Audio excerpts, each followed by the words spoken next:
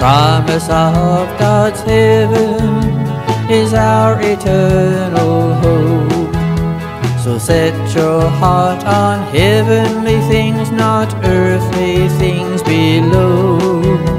And our salvation is secure, for the word of God is true. So pray as if your life depends on Him because you do. Living God can remove the fear out of our living, while His living Son can remove the fear out of our dying.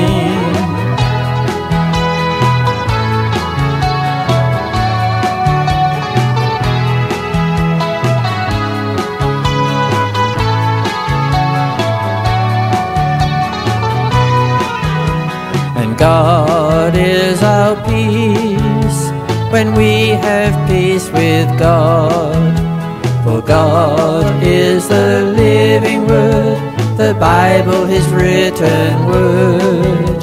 The Bible may be old, but its truth remains today.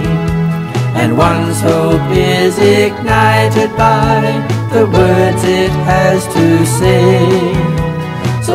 Confronting difficulty, put your trust in God. For with Almighty God, all things are possible. He's greater than our greatest problem. Creation proves His power. And through His Holy Spirit, He is with us every hour.